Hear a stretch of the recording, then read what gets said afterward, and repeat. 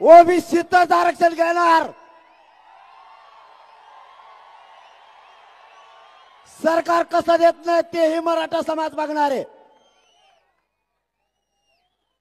आम्ही दंड आणि मांड्या दोन्ही थोपटल्यात.